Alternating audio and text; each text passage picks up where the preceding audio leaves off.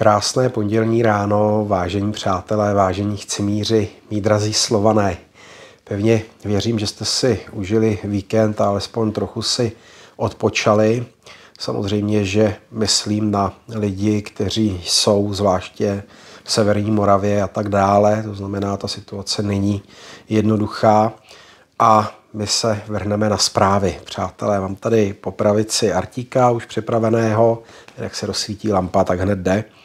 A být či nebýt, toť otázka, přátelé. A tady tu filozofickou otázku jsem si dal ve chvíli, kdy já nevím, v 10 dopoledne se dozvíte z nějakého média, že jsou povoleny rakety dlouhého doletu na místo určení v Ruské federaci, v podstatě dle výběru Ukrajiny.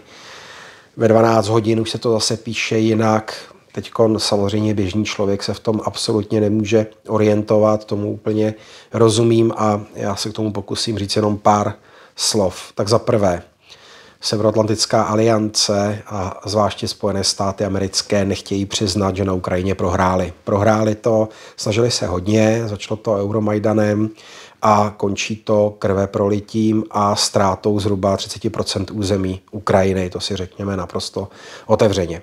Oni prohrát nechtějí, takže potřebují najít nějaký zástupný problém a to bude Ruská federace. To je jedna věc. Druhá věc, oni chtějí ty suroviny, které jsou na Ukrajině, zvláště v těch východních oblastech. Chtěli je i Hitler, chtěli je i jiní, chtěli je například i Winston Churchill. Stačí si přečíst memoáry, ten už je chtěl před více než stolety, přátelé, jo? Dokonce, myslím, že to bylo v roce 1907, kdy o tom hovořil a tak mu jako leželo v žaludku, že tak obrovské bohatství, hlavně ropa a tak dále, která tam je a ty suroviny, že by bylo dobré využít. Já netvrdím, že se v té době z toho vyráběly pohonné hmoty, jo? ale samozřejmě dělali se jiné věci a všichni ti hodně bohatí lidé, kteří zatím stáli, tak vždycky toto financovali tyhle ty záležitosti. To znamená, byli to průmyslníci a byl to ten kapitál. Je to takový paradox, jo? protože on o tom psal i Marx. Ono je vždycky dobré číst všechna ta díla z obou dvou stran barikády, aby si o tom člověk mohl udělat obrázek. A tady myslím, že se tedy nepletl.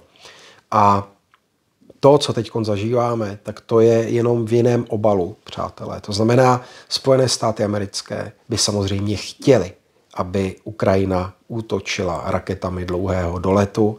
To znamená nikoli v těmi britskými z letadel s doletem zhruba 300 km, které jim nestačí na ty cíle, protože ty cíle jsou vzdáleny většinou kolem 1100 km na té východní hranici. No a proto jsou v Kursku, proto chtěli ještě jít hlouběji, jenomže na to nemají vojáky, techniku a tak dále. Takže jde o zapojení specialistů ze Severoatlantické aliance. Já to znovu zopakuji. Já prostě nevěřím tomu, že tam nejsou. Nevěřím.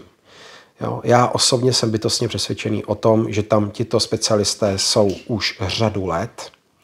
Při vyhrocení toho konfliktu 24. února roku 2022 tam byli a jsou tam i nyní. A z čeho vycházím? Vycházím z těch 12 základen CIA na východní hranici například.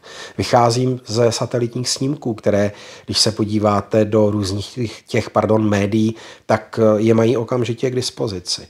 Už to je zapojení Severoatlantické aliance. Navádění těch střel je zapojení Severoatlantické aliance. Tady si opravdu někdo myslí, že Ukrajina může poslat dron do rafinérky Ruské federaci bez toho, aby k tomu použila špičkovou techniku ze Spojených států amerických, z Velké Británie a tak dále?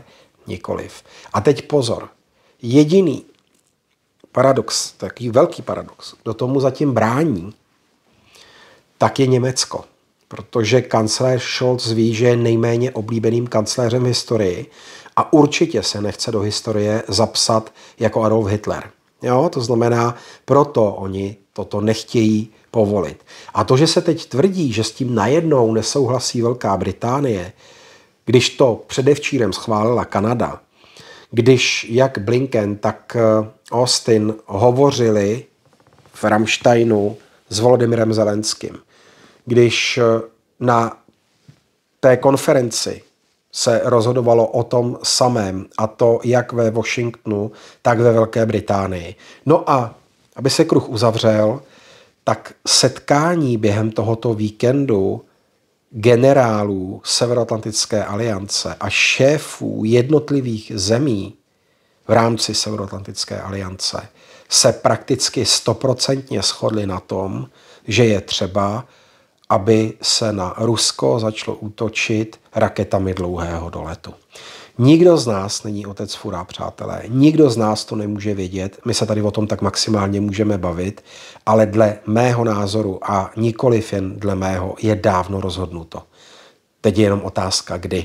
Takže tolik tady k tomu velmi diskutovanému tématu a musel jsem tomu dát tolik času, protože je to velice důležité a je to vlastně naprosto stěžejní tom, jestli bude nebo nebude jaderná válka například a jestli Londýn, potažmo Paříž nebo nějaké jiné evropské velkoměsto bude či nebude srovnáno se zemí. Rusové to umí, mají na to tyto jaderné taktické zbraně, balistické střely a tak dále. To znamená, oni skutečně toto dokáží. A já to neberu na lehkou váhu, ta prohlášení, a určitě to neberu jako nějaké strašení. Beru to jako reálnou záležitost v případě napadení Ruské federace. Napište mi do komentářů, jak to vidíte vy, přátelé, protože tohle je téma, které se bytostně dotýká nás všech, to si řekněme otevřeně. Teď to trošku budu odlehčovat ty zprávy. Před listopadem roku 1989 už jela ekonomika pěkně z kopce, ale na dně jsme ještě nebyli, říká historik. Československá ekonomika od poloviny 80. let 20. století, dodám, stagnovala. Životní úroveň se postupně propadala. Zažívali jsme si tak taky, tak tady, tady má být, množství nedostatkového zboží. I toaletní papír se prodával a tak dále a tak dále, podpultový zboží. Tuzexy a podobně. No nic, tak eh, Tuzex tady rozhodně nebyl od 80. let 20. století, to bych jako chtěl říct, že ten byl už na konci 50. let, pokud se nemýlím, tuším, že to bylo, jak bylo Expo 1957, 1958, když tak mě přátelé někdo doplňte, ale to není to podstatné. To důležité je úplně něco jiného. Jako je to hezký, že dneska člověk může sníst kilo banánů na posezení a toaletní papír může každý den mít s jiným obrázkem. To je jako všechno super, ale k čemu to je, když si nemůže koupit vlastní byt když mladí dneska říkají, že radši peníze okamžitě utratí a procestují, než aby si pořídili bydlení, protože si ho prostě pořídit eh, nemohou. A takhle bych mohl pokračovat. Jo? To znamená, my tady máme teď krizi, kterou Baťa popsal jako krizi socia, sociální a z toho vychází eh, nějaký finanční problémy. Jinými slovy, když to řeknu lidmi, kteří zastávají úplně opačný ekonomický názor než já, to znamená, jsou keynesiánci, tak peněz je dost, přátelé, peněz je dost jenom je dobře využít.